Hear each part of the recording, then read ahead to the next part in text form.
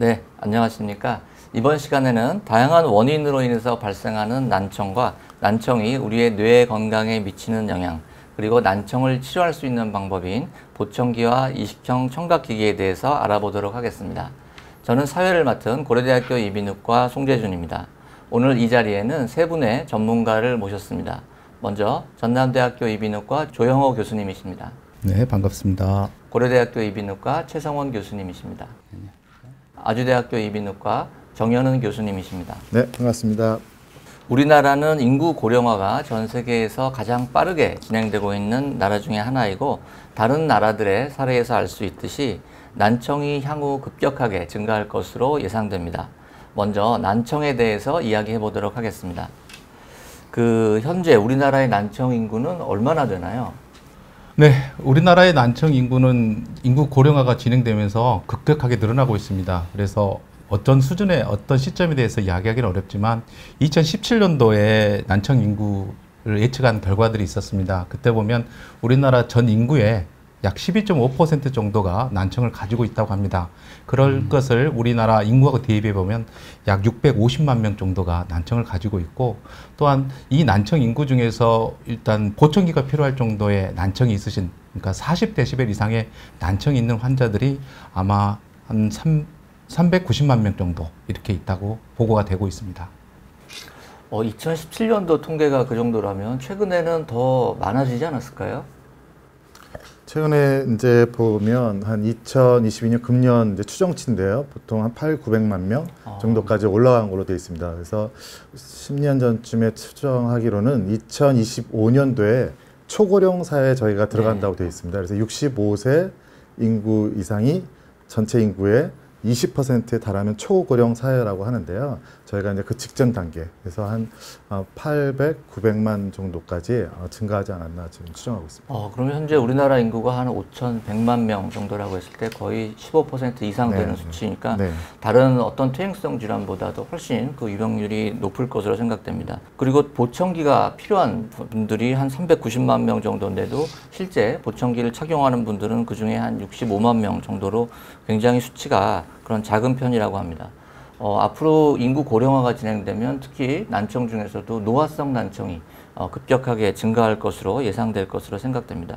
난청 중에서도 이 노화성 난청은 그럼 앞으로 얼마나 더 어, 증가하고 또 흔해질까요?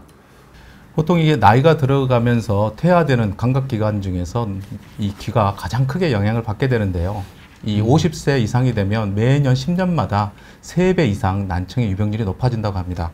그래서 우리나라에 시행된 이 난청에 대한 유병률 조사에서 65세 이상 그 노인 환자 중에서 난청을 가지고 있을 확률이 약 38% 정도를 보고하고 있습니다.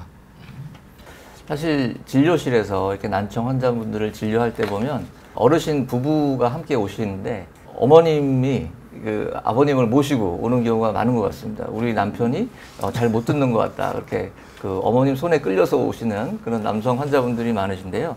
이 난청, 노화성 난청에도 남자, 여자에 좀 이렇게 차이가 있습니까? 불행하게도 차이가 있습니다. 이게 남자가 참 문제가 되더라고요. 저희들도 이렇게 통계를 보고 보면 대개 남자가 여자보다 낮은 연령에서 시작이 되고 그리고 진행 속도가 두 배 이상 빠릅니다. 그리고 고주파 영역이 난청이 더 많이 생기기 때문에 소리는 들어도 말을 잘 알아듣지 못하는 그런 경우가 많이 생겨서 아마 그래서 부부싸움이 많이 생기니까 어머님이 모시고 오지 않을까 그런 생각을 하고 있습니다. 여러 가지 연구 결과를 보면 미국에서도 이런 난청 인구 유병률이 노인에서는 한 28% 정도 보고가 되고 있는데 그 중에서도 남성이 한 6% 정도 더 높다라고 보고를 하고 있고 우리나라에서도 역시 국민 건강영향평가에서 그 검사를 했을 때 남자가 여자보다 7% 정도 더 높은 유병률을 가지고 있다고 보고를 하고 있습니다. 물론 이제 남녀 뭐 유전의 차이도 있겠지만 그 어떤 환경적인 요인 그런 것에서도 영향을 미칠까요? 어떻게 생각하십니까, 교수님?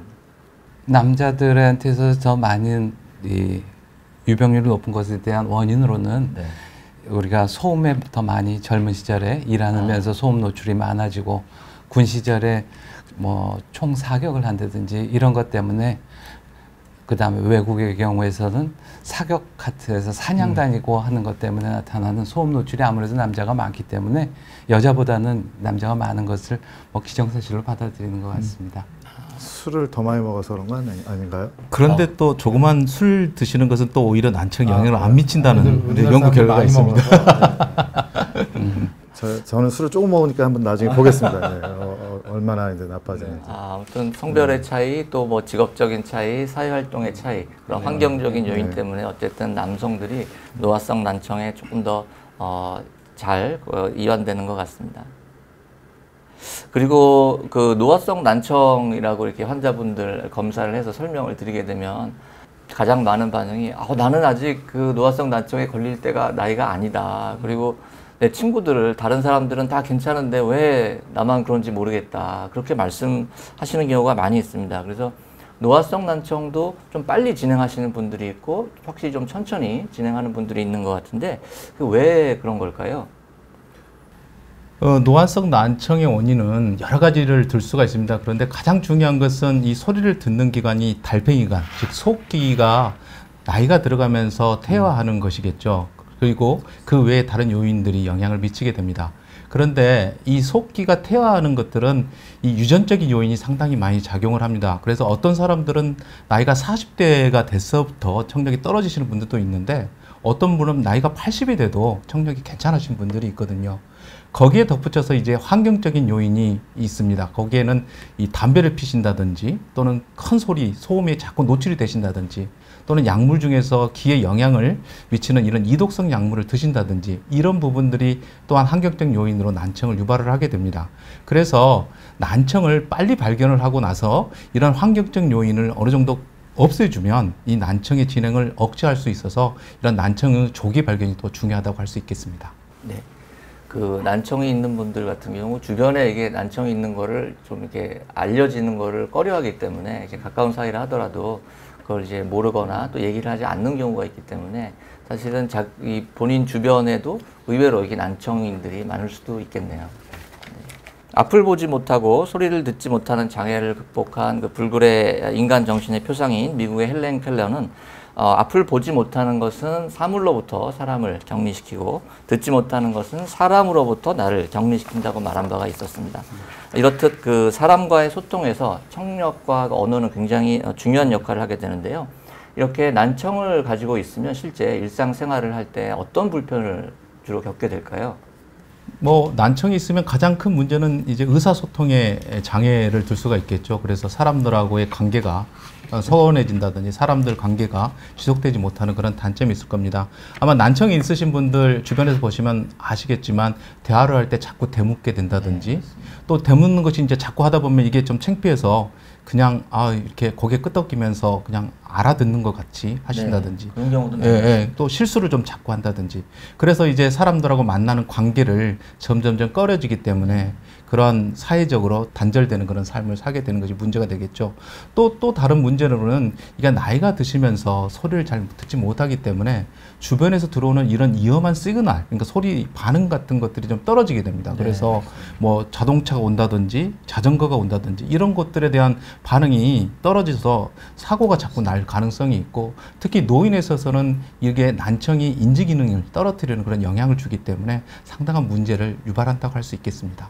네, 뒤에서 차가 와서 막 빵빵거리는데도 그걸 못 알아들어서 피하지 못한다고 하면 그건 단순히 소통의 문제가 아니고 굉장히 안전에도 영향을 미치는 그런 상황이 될 수도 있기 때문에 어, 그래서 청각 재활이 더욱 어, 필요하다고 할 수도 있겠습니다. 그 가장 큰 문제는 직장인 것 같아요. 직장. 아. 네, 네. 그러니까 이제 일상생활에 불편이 있는 것은 본인이 감수할 수 있지만 이게 직장 생활을 못 하게 되면 결국은 이제 수입이 없기 때문에 네, 네. 네, 삶의 quality 전체를 낮춰버리는 상황이 돼서 어, 어떻게 보면 난청 분명히 해결해야 되지만 또 노화성 난청은 피할 수 없는 것이기 때문에 네. 직장에서도 그런 부분에 대해서 고려하는 음. 아, 근데 그러한 것들을 조금 이제 만들어 나가야 되지 않을까. 왜냐면 어떤 직장에서는 이제 뭐 청력이 나쁘면은 취업이 아예 안 되는 네. 이제 이런 경우도 있어서 이제 그런 것들이 어, 처음서부터 공표가 되든지 네. 아니면 어떤 그 사회적인 어떤 합의가 좀 있어야 되는 상황이 될 것 같습니다. 맞습니다. 저희도 외국의 뭐 학회나 이런 데를 참석해 보면 보청기를 네, 착용하면서 뭐 일상생활을 한다든지 또 네. 뭐 학교에 참석해서 발표하는 그런 분들을 많이 볼 수 있는데 사실 우리나라에서는 아쉽게도 그런 분들의 수가 상대적으로 적은 게 사실입니다. 예전보다는 뭐 보청기나 이런 청각 재활기를 사용하는 거에 대한 인식이 많이 좋아지긴 했지만 아직 외국에 비해서는 문화적으로 그런 게 좀 부족하지 않을까 싶습니다. 그러니까 불과 한 2, 30년 전만 해도 이 노인 인구가 그렇게 많지가 않고 네. 그래서 못 들리시는 분들이 뭐 경로당이나 이렇게 가면 나이 드신 분들이 다 안 들리시기 때문에 큰 소리로 그냥 이렇게 이야기하시던 그런 삶 속에서 일종의 보청기를 효도 선물로 가져오니까 자녀들이 그냥 그렇게 끼고 소리를 이렇게 이야기하는 그런 시절이었는데 요즘은 일상생활을 자주 해야 되고 사- 직업적인 삶을 해야 되기 때문에 적극적으로 이런 난청의 재활에 저희들이 신경을 써야 되지 않을까 생각을 하고 있습니다. 네. 맞습니다. 난청 있는 환자분들과 상담을 하다 보면 사실은 다른 사람들하고 이제 좀 얘기를 그 많이 하고 싶어도 방금 조영호 교수님 말씀하신 것처럼 잘 못 알아들으니까 위축이 돼서 몇 번 그런 경험을 하게 되면은 대화에서 빠지게 되고 사회적으로 이렇게 단절되는 어, 그런 상황이 점점 더 어, 진행되는 것을 많이 이제 말씀을 하십니다. 그리고 또 가까운 가족 내에서도 이제 그 환자분들이 잘 못 들으시니까 가족분들이 몇 번 대화를 시도하다가도 막 큰 소리를 질러야 되고 또 이게 잘못 알아들으면 대화를 포기하게 되고 그러니까 이 가까운 가족들과도 대화가 이렇게 어려운 경우가 많이 볼 수 있습니다. 그 노인성 난청이 있을 때 환자들이 또 사회적으로 아니면 가족 간에 어, 그- 겪는 그런 기능적인 심리적인 어려움에는 어떤 것이 있을까요?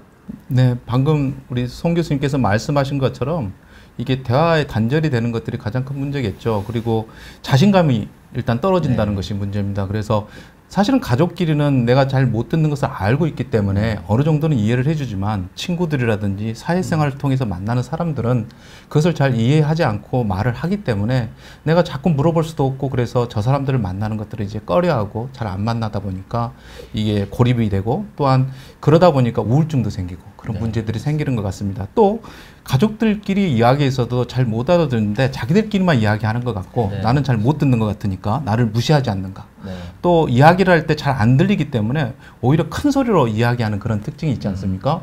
그러니까 꼭 싸우는 것 같기도 하고 이런 네. 문제들이 아마 발생하는 것 같습니다. 예, 맞습니다.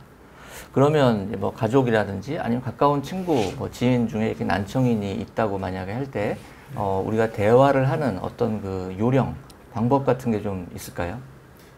대화를 할 때 보면 이 주변에 소음이 있으면 사실 말을 알아듣기가 참 어렵습니다. 특히 난청인들은 네. 그래서 대화를 가족끼리라든지 지인들이 난청이 있다 그러면 좀 조용한 곳에서 이야기를 하시는 게 좋을 것 같고요. 그리고 가능한 한 앞에서 마주 보면서 가까운 거리에서 이야기하시는 것이 필요하다고 할 수 있겠습니다. 그리고 말을 할 때도 빠르게 하는 것보다는 천천히 그리고 일상적으로 좀 큰 소리로 조금 약간 더 큰 소리로 좀 이야기를 해주시고 단어의 선택에 있어서도 좀 쉬운 단어를 사용하셔야지만 그분이 쉽게 알아듣고 거기에 대해서 반응을 할 수 있지 않을까 그런 생각을 합니다. 이것을 정리해 보면은 조용한 곳에서 가까운 거리에서 앞쪽에서 그리고 또박또박한 소리로 이야기를 해라라고 이야기를 할 수 있겠습니다. 네. 두분 교수님들은 실제 진료하실 때 난청인들 또 그 가족분들한테 이런 상황에서 좀 어떻게 하라고 조언을 해주시는 편이신가요? 도저히 안 되면 어, 저는 이제 크게 얘기하는 것보다 네. 천천히 얘기하는 것보다 아. 네, 천천히 또박또박이 크게 얘기하는 것보다는 네. 어, 더 중요한 것 같아요. 천천히 얘기하는 것이 가장 네. 중요하죠. 네. 왜냐하면 천천히 얘기하면 순간순간 뇌가 그 정보 처리하는 시간이 필요한데 네. 그 시간을 벌어줄 수 있어서 천천히 얘기하는 것이 상당히 중요하고요. 똑같은 말을 반복하는 것보다는 어디 가세요? 라고 해서 못 알아들으면 어디에 가기로 하셨잖아요? 라고 하는 아, 것처럼 용어를 동일하게 큰 소리로 반복하는 게 아니라 내용을 바- 변경시켜서 얘기하는 것이 굉장히 중요하다고 알려져 있습니다. 맞습니다. 그리고 이게 나중에 이제 보청기하고 관계가 있겠지만 잘 아시겠지만 감각신경성 난청이 있으면 이게 작은 소리를 듣는 능력은 나빠지지만 큰 소리를 듣는 능력은 그대로 유지되기 때문에 우리가 이제 그 잘 안 들린다고 귀에다 대고 크게 소리를 지르면 오히려 그 예 큰 귀가 울리고 아프고 너무 불편한 소리를 듣게 되는 그런 현상을 겨- 그 경험하시기 때문에 이게 참 이 건청인들이 약간은 이해하기 어려운 그런 현상인 것 같습니다. 그리고 또 이 난청인 분들은 이 몸 상태 컨디션이나 집중력에 따라서 좀 잘 들을 때가 있고 못 들을 때가 있고 하기 때문에 이제 그런 것 따라서도 좀 이 청력에 아, 많이 차이가 있지 않을까 싶습니다. 그러면 궁극적으로 이 난청은 참 전 연령에 걸쳐서 다 언제든 발생을 할 수가 있는데요. 이런 그 난청이 필요한 이유 뭐라고 한마디로 요약할 수 있을까요? 난청 치료가 필요한 이유는 명확합니다. 이게 사, 다른 사람과의 의사소통, 그 다음에 사회생활을 하는데 반드시 필요한 것이죠. 그리고 이것은 우리가 의사소통뿐만 아니라 학업, 그 다음에 직업생활, 그리고 문화생활을 영위하는 데 반드시 필요하기 때문에 네, 이것을 가능한 한 잘 듣게 해주는 것이 중요하다 할 수 있겠습니다. 특히 소아, 영유아에서 이 소리를 못 듣게 되면 네. 얘가 말을 배우지 못하기 때문에 끝내는 이 수화를 쓰게 되고 수화를 쓰다 보면 일상 생활에 있어서 일반인들과 사회생활을 할 수 없는 그런 단점이 생깁니다.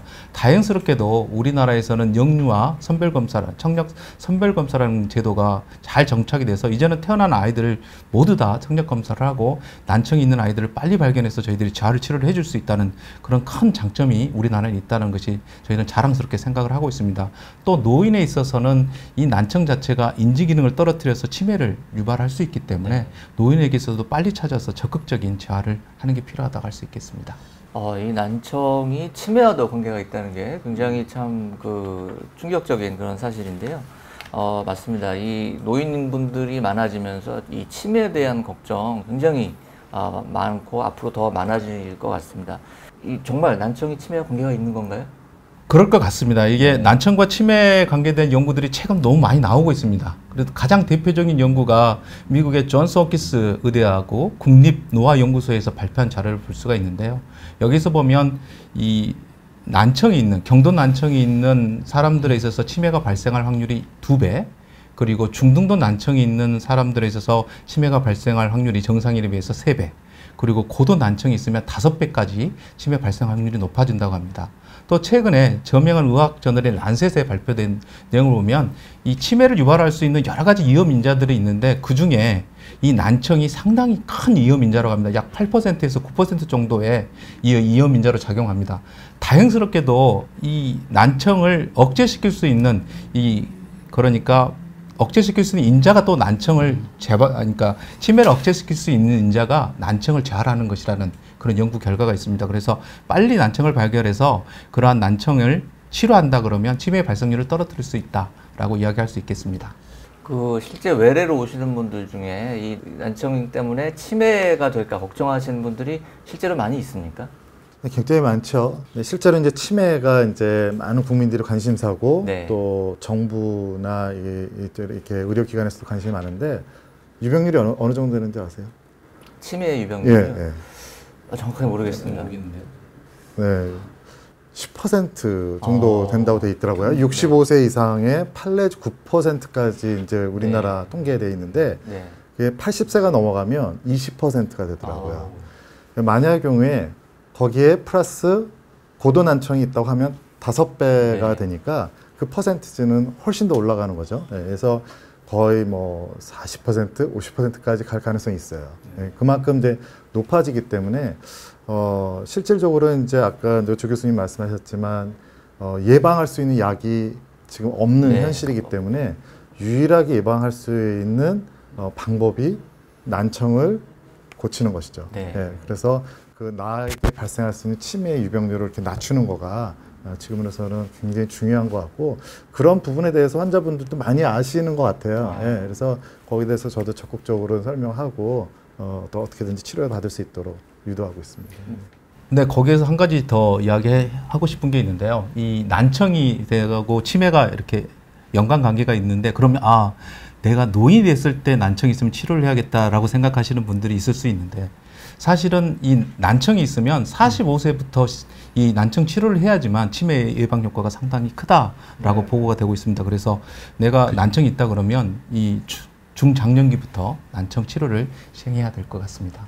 네. 난청과 치매가 연관이 있다는 연구 결과들이 굉장히 많이 보고가 되고 있고 또 방금 말씀하신 것처럼 난청이야말로 치매를 예방할 수 있는 어, 예방이 가능한 위험 인자로서 거의 유일하다시피 하고 네. 또 난청은 다행히 뭐 보청기나 이식형 청각기로 청각 재활을 시행, 시행할 수 있기 때문에 어떻게 보면 그 치매를 예방할 수 있는 가장 유일하면서 확실한 방법이라고 할 수 있겠고 그것도 조 교수님 말씀하신 바와 같이 어, 이른 네. 나이에 초기에서부터 어, 청각 재활을 할수록 그 예방 효과가 높다는 말씀이시군요.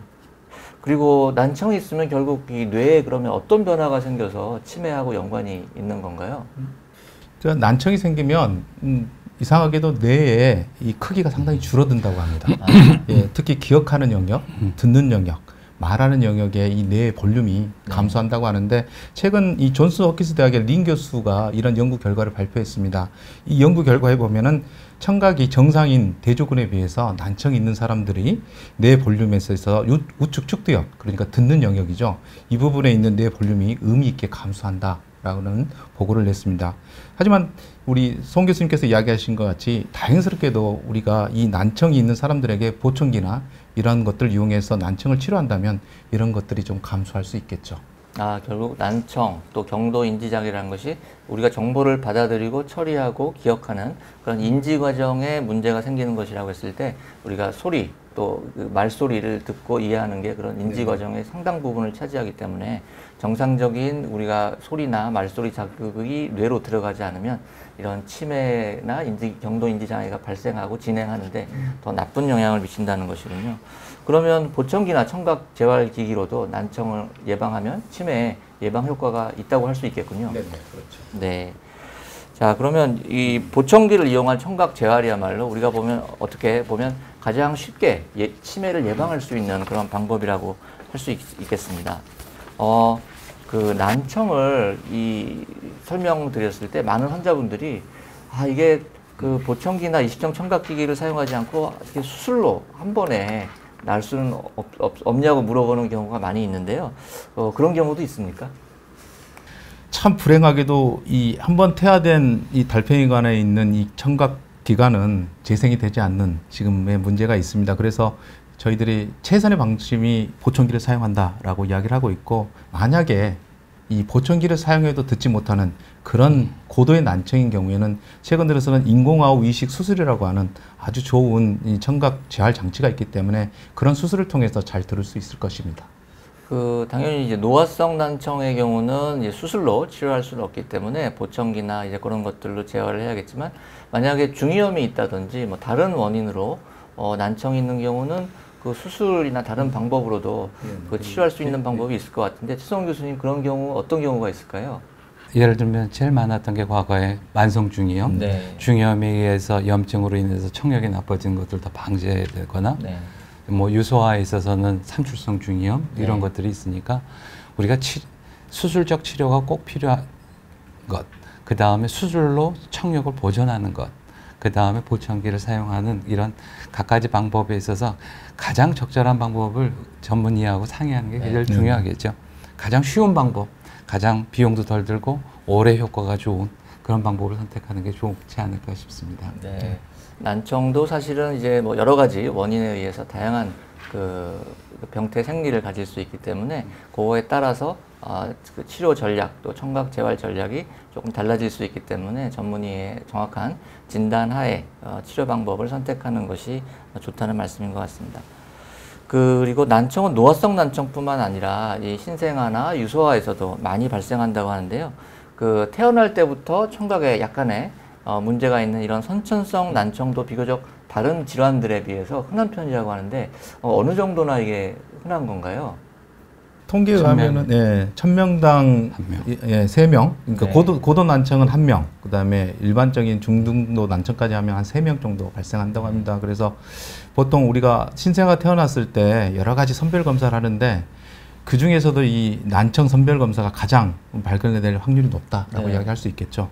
맞습니다. 이게 다른 예를 들어 선천성 그 이상 질환들보다도 이 난청이 어떻게 보면 훨씬 그 빈도가 높 높다고 알려져 있습니다. 그래서 최근 이제 우리나라에서도 신생아 난청에 대해서 선별 검사를 하고 그 과정을 통해서 이제 진단되는 환아들이 이제 많이 있게 됩니다. 그러면 만약에 이렇게 신생아나 유소아 때 난청을 발견하지 못하거나 발견했는데도 적절한 치료를 하지 않게 되면 나중에 이제 어떻게 될까요? 조금 전에 이야기한 것 음. 같이 유소아 때 난청을 발견을 하지 못하면은 네. 말을 제대로 못 배우기 때문에 의사소통이 장애를 듣겠죠. 그래서 아예 못 듣는다 그러면 말을 배우지 진짜 못할 것이고 근데 고도나 중등도 난청이 있는데 그대로 이렇게 가버린다면 말을 배우는 시기가 좀 늦어지고 그리고 발음이 이상해지는 음. 그런 일들이 발생할 가능성이 네. 많습니다. 정현웅 교수님 그 네. 한번 경험이 있으신 분 어, 말씀해 저는 이제 환자들한테 이렇게 얘기합니다. 그러니까 어, 양측이 나쁜 경우는 네. 어, 사실은 이제 어, 굉장히 자기가 할 수 있는 능력에 많은 부분들을 못 하고 아, 가는 건데 그렇죠. 사실은 이제 아까 이제 천 명에 세명 정도 했는데 요즘에는 이렇게 의료 기술이 많이 이제 발달을 해서 어, 이렇게 선천성으로 태어나는 난청 아이들이 좀 줄고 있는 음. 추세이긴 해요. 그래서 네. 2.5명, 2명까지도 아마 주는 것 같아요. 그래서 그거는 이제 우리 청각 장애 학교가 숫자가 조금 주는 음. 이제 경향이 있는 게 이제 요즘의 현실인데 그만큼 이제 어, 많이 달라졌는데 어, 문제는 이제 한쪽이 또 안 들리는 애기들이거든요. 네. 한쪽만 안 들리고 맞습니다. 한쪽은 들리고. 사실은 이제 10년, 20년 전만 해도 저도 진료할 때는 이제 그냥 지내라고 이제 많이 했었는데, 어, 과연 이들이 어떠, 커서 어떻게 이제 자기 능력을 발휘하느냐 따지면, 음. 어, 저는 그냥 이렇게 설명을 해요. 100명 중에 얘가 1등을 하는 능력이 있다라 하면, 어, 10등 정도로 떨어진다라는 거죠. 근데 이게 이제 실제 논문상에서도 자기의 퍼포먼스라고 해서 자기의 능력이 조금 떨어지는 걸로 다 나오, 나오고 네. 있어요. 네. 그래서 그거는 이제 학자들이 다 이제 공감하고 있는 거기 때문에 한쪽 청력이 떨어진 것조차도 요즘엔 적극적으로 음. 양쪽을 들을 수 있도록 올리는 것이 중요한 것 같아요. 그래서 네. 아까 이제 얘기한 우리가 천 명당 세 명 하는 경우에는 양측이죠. 네, 네. 네, 양측 통계입니다. 그래서 이게 일측 나쁜 것까지 포함하면 네. 훨씬 더 많아지는 두세 배가 더 될 텐데 그래서 이제 거기까지도 이제 고려하면서 요즘에는 관리를 해야지만 이 신생아야 난청이 커서의 능력으로 이렇게 어, 제한을 주지 않도록 어, 어, 저희들이 할 수 있을 것 같습니다. 네. 미국에서 그런 자료가 있었죠. 예를 네. 들어서 경도 난청, 경도 난청은 청력이 조금만 떨어진 건데 네. 그런 것보다도 조금 더 덜 떨어진 경우에 음. 써 있어서도 음. 유급률을 조사해 보면 정상 청력보다는 한 두 배 이상 한 학년 올라갈 때 유급률이 높아지기 때문에 음, 네. 학습 능력의 차이가 많이 발생한다라고 해서 이를 배우 언어를 배우고 학습을 하고 있는 과정에서의 청력은 적극적으로 치료해야 되고 그 다음에 나이 들어서는 조금 생각하는 것보다는 젊은 친구들, 어린 친구들은 더 열심히 우리가 청력 재활을 해야 된다라고 네. 하는 그런 필요가 있습니다. 네. 이제 어려서는 유소화 때는 결국은 언어와 인지 그리고 학습에 어, 지대한 영향을 미치기 때문에 이게 조기에 어, 발견을 하는 것이 매우 중요할 것 같습니다. 사실 제 이 친구 중에서도 한쪽 귀를 못 듣는 친구가 네, 있었습니다. 네. 근데 물어, 물어봤더니 본인은 다른 사람들 다 그렇게 듣는 줄 알았다고. 그 성인이 되고 나서 어, 발견을 한 그런 네. 경우가 있었는데 사실 뭐 말은 안 해서 그렇지 그 친구가 그 동안에 살아오면서 겪었던 불편이나 어려움은 사실 그 이런 말로 이렇게 표현할 수가 없었을 정도인데요. 어, 그 당시에 이제 유서와 신생아 난청 검사가 없었기 때문에 그런 것 같은데 그럼 이런 것들을 예방하기 위해서는 이제 신생아 선별 검사를 해야 되는데 우리나라에서 현재 지금 어떻게 진행되고 있습니까?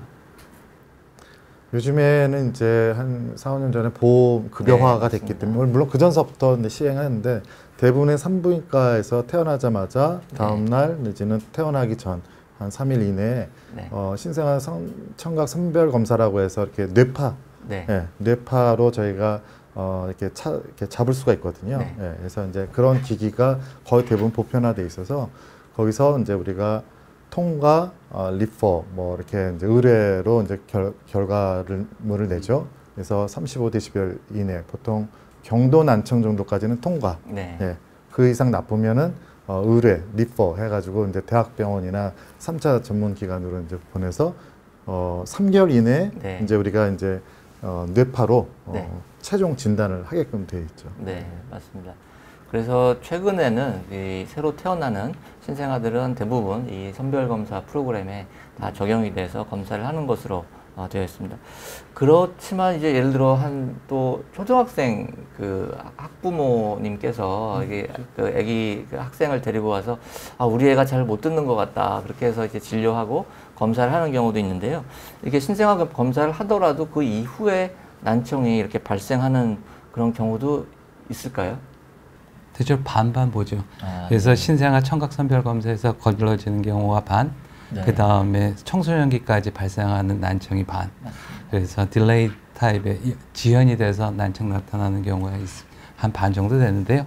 꽤 못 듣는 것에 어, 가장 큰 임상적으로 느껴지는 큰 특징 중에 하나는 혀가 짧지 않은데도 발음에 혀가 짧은 듯한 발음하는 네. 경우에서는 네. 아, 이 친구 잘 못 듣고 있구나 이런 생각들을 우리가 하고 적극적으로 그때는 청력 검사도 할 네. 필요가 있지 않나 싶어서 발음이 안 좋으면 잘 못 듣고 있다라고 하는 것들을 한번 생각해 보실 필요가 있지 않을까 싶습니다. 그러니까 예전에는 우리 집안은 대대로 말이 늦게 터져라고 이야기를 하시는 집안들이 있으셨거든요. 근데 사실은 보면 그런 분들의 그 아이들의 청력을 보면 좀 청력이 좀 떨어져 있는 중등도 네. 난청 정도가 있는 아이들인 경우가 많이 있기 때문에 좀 말이 늦게 터진다든지 발음이 이상하면 반드시 청력 검사를 해보는 것이 상당히 조, 중요하다 할 수 있겠습니다. 예, 맞습니다. 사람은 어떻게 보면 들리는 대로 내가 말을 배워서 말을 하게 돼 있기 때문에 이제 오랜 시간 또 일찍 이른 나이에서부터 감각신경성 난청이나 전음성 난청이 있었던 분들은 나이가 들어서 성인이 돼서 발음이 약간 좀 네. 어, 나빠지는 경우를 많이 볼 수가 있습니다. 한 가지 이제 더 말씀드리면 이제 요즘 아기들이 자연분만 뭐 이렇게 수술도 하고 그러는데 또 그 중환자실에 들어가거나 아. 예, 다른 이제 황달이 있었거나 네. 다른 병이 있었으면 어, 처음에 이렇게 다 통과를 하더라도 음. 최소한 학교 들어가기 전까지는 매년 음. 체크를 하는 게 중요한 맞습니다. 것 같아요. 그래서 그냥 처음에 나는 통과했으니까 라고 안심을 하는 게 아니라 우리가 이제 어, 중환자실에 들어가서 인큐베이터에 들어가는 경우에는 거의 열배까지도 아, 어, 유병률이 올라가는 걸로 되어 있기 네. 때문에 어, 그래서 꼭 기억하셔서 우리가 이제 매년 매년 체크를 하셔서 학교 들어갈 때까지는 어, 이렇게 확인하시는 게 중요한 것 같습니다. 네, 맞습니다. 나중에도 아까, 나빠질 수 있습니다. 예, 맞습니다. 아까 최성원 교수님 말씀하셨지만 전체 난청인 중에서 한 절반이 이제 신생아 난청 스크리닝에서 발견되는 그런 경우이지만 나머지 절반은 그 이후에 발생하는 것인데 지금 우리나라 전체적으로 봤을 때 신생아 난, 선별 검사 프로그램은 이제 국가 프로그램으로 운영이 되고 있지만 아직 그 이후에 이제 소아 난청 같은 경우는 아직 국가 프로그램이 확립되어 있지가 않습니다. 그렇기 때문에 조금이라도 이제 이상이 있는 것 같다고 하면은 어, 청력 검사를 시행을 해보는 것이 필수적이라고 말씀드릴 수가 있겠습니다. 어, 마지막으로 이렇게 그 난청이란 것이 개인적인 차원뿐만 아니라 또 일상생활 또 국가적인 차원에서도 그 많은 영향을 미치는데요. 이런 난청을 치료하고 또 예방하기 위해서 실제 어, 진료 현장에서 그 세분 교수님들께서는 어떻게 그 환자나 보호자분들에게 어, 상담하고 또 권유를 해주시는지 어, 한, 한 말씀 부탁드리겠습니다. 뭐 난청을 예방하는 것은 아까 조금 전에 이야기한 것 같이 음, 네. 이 본인이 그런 난청이 소인이 있으실 때는 이런 소음을 피하시는 것, 그 다음에 흡연을 안 하시는 것, 음. 그리고 이런 약물을 조심하시는 것들을 들 수가 있겠죠. 특히 요즘 아이들이 사오정이 된다라고 하는 이런 뉴스 기사들이 나오게 되는데요. 이게 이어폰을 너무 많이 끼고 있습니다. 그런데 이런 시끄러운 곳에서 이어폰을 끼다 보면 이 주변에 있는 소음보다 더 크게 들어야 되기 때문에 볼륨을 많이 올리게 되고 그로 인해서 또 난청이 생길 수가 있기 때문에 그러한 것들을 주의하라라고 이야기를 하고 있고 만약에 난청이 있다 그러면 주기적으로 일년에 한 번 아니면 일년이년에 한 번 정도는 청력 검사를 하면서 자기의 청력을 반드시 가늠해 보시라라고 네. 저는 이야기를 하고 있습니다. 음. 최성 교수님 어떻게 주로 상담해 주시는 편이신가요? 지금 하, 말씀하신 거하고 뭐 동일하죠. 네. 그런데 하나만 더 한다면 우리가 내 상태를 알고 걱정할 건지 말 건지를 알아야지 검사하지도 않고 괜히 걱정하면서 불안하게 지낼 필요 없습니다. 그 다음에 난청이라고 하는 것들은 분명히 우리가 대응 방안이 있기 때문에 그렇게 네. 확실하게 걱정하지 말고 지내세요. 난청에 대해서는 저희가 해결해 드릴 수 있습니다. 음. 그런 얘기를 드리죠. 네. 정현웅 교수님. 네. 어, 저는 그냥 이렇게 얘기합니다. 네. 어, 눈 나쁘면 안경 쓰지 않느냐고. 네. 어, 안경으로 잘 안 되면 백내장 수술도 하면서 이렇게 안구 안쪽에 렌즈를 바꾸는 수술까지도 네.